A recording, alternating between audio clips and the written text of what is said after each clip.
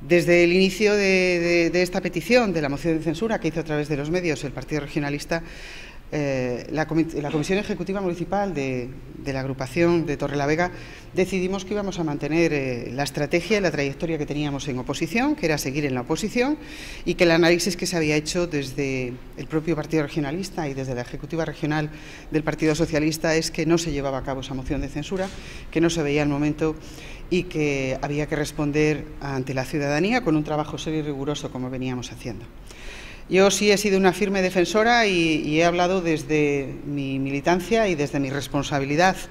también como, como socialista y como torrelaveguense y he defendido y he explicado por qué esa moción no se podía llevar a cabo. entiendo que sigue siendo un error estratégico y un error político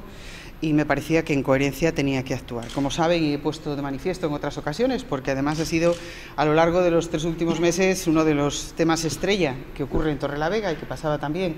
en la política de, Cantabria y como soy una persona acostumbrada y además eh, firmemente decidida siempre a explicar los pasos que doy y por qué los doy, pues eh, cuando han aparecido el anuncio de algunas de esas medidas a través de los medios, yo he tenido que responder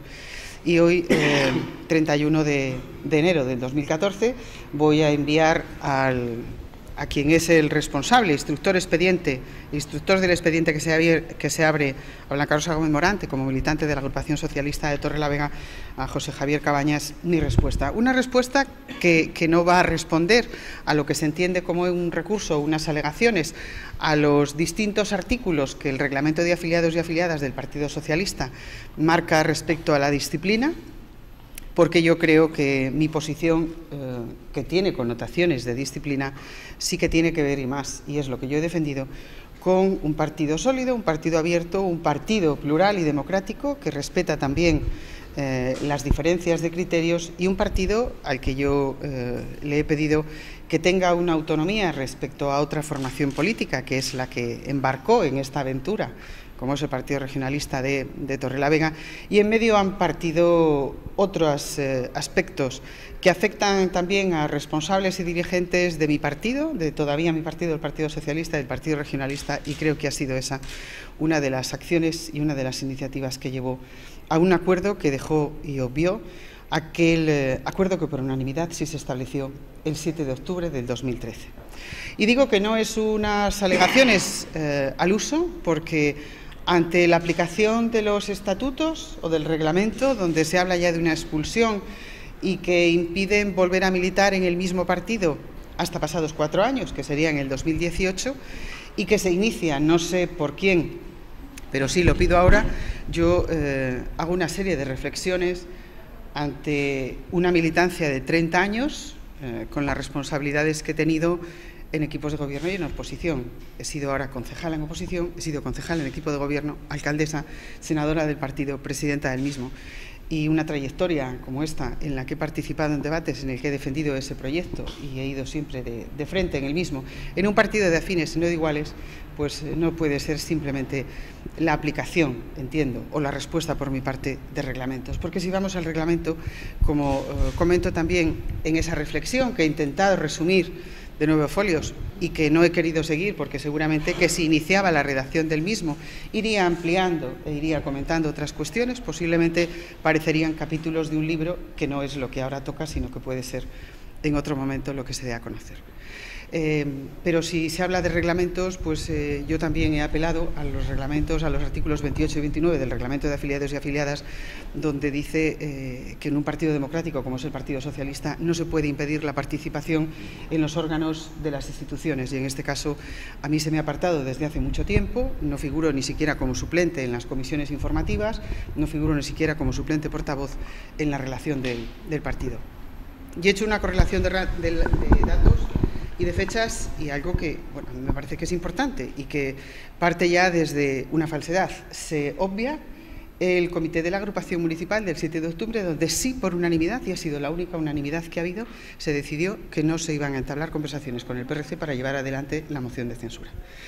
Y parte este escrito de la decisión que la Ejecutiva Regional el 15 de octubre adopta para trasladar ese tema a Torre la Vega.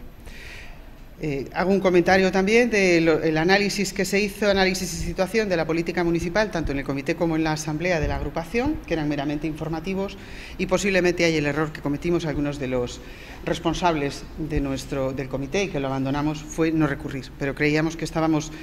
entre compañeros, entre afines y que se iban a respetar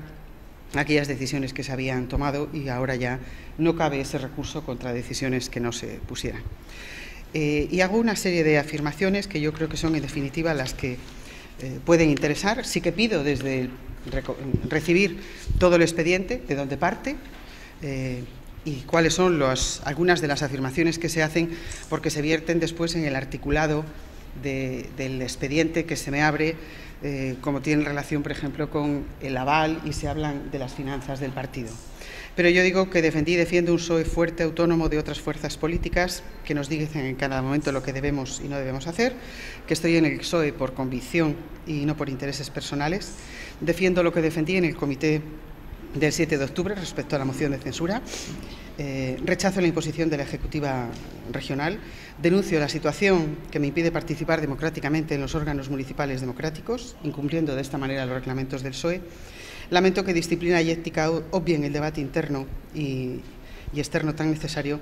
y denuncio también la situación personal que se me está provocando con la no retirada del, aval. Cuando yo voy leyendo el, documento que se me envía desde el PSOE, dicen que uno de los argumentos también de la gravedad de mis herejías es eh, que me niego a recibir eh, y firmar documentos que vengan del Partido Socialista y algunas las vinculan con las finanzas del partido. No, miren, como, cabeza de candidatura del Partido Socialista, ya lo había hecho en otra eh, ocasión, siendo secretario general de la agrupación de Torrelavega, otro compañero y secretario de organización, se contrata un crédito personal para la financiación de campaña y de las actividades del partido.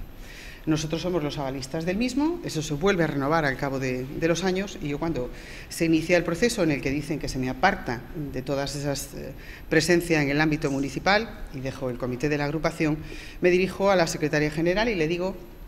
que deben de retirarse eh, esa firma de mi aval, yo soy avalista del PSOE, porque además en este momento que yo he iniciado una andadura laboral eh, me perjudica, me perjudica de forma grave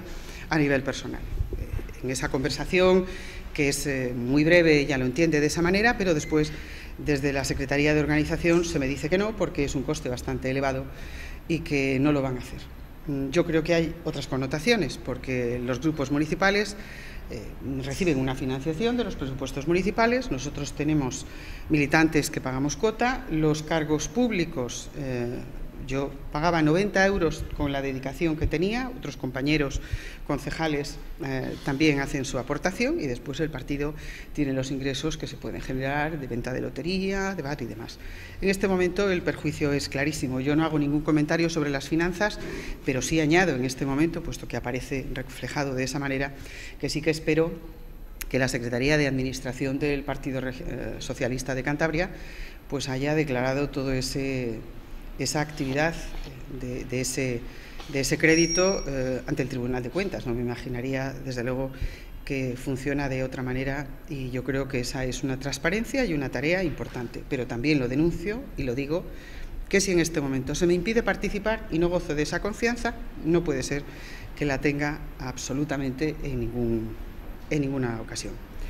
También hago otras eh, apunto algún comentario porque me pareció que fue una actitud eh, o una, la verdad que la convocatoria de Javier Incera, secretario de organización a nivel regional, me pareció patética,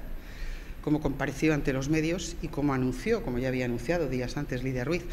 que mi actitud iba de la expulsión hasta la expulsión, o sea que yo esto lo venía escuchando sin que hubiera recibido tampoco ningún documento